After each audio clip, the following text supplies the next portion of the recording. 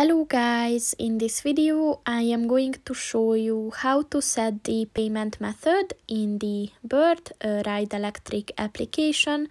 But first I just want to mention, don't forget to subscribe to my channel because at 10,000 subscribers I am going to show you my whole YouTube revenue statistics and growth strategy as well as how to make money online. Let's jump into it. First of all, open the application on your phone and then click on the two lines at the top of the page on the left.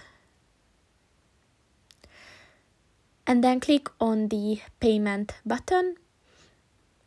And uh, as you can see at the payment method section you can uh, choose uh, the Apple Pay um, option if you have an iPhone or you can add a credit card. So if you want to do that just click on that and uh, you can either uh, like uh, scan your uh, card or, or you can uh, enter it uh, manually. So just click on that. And then of course you have to set your card details so your card number the expiry date and then the CVC code which is at the back of your card.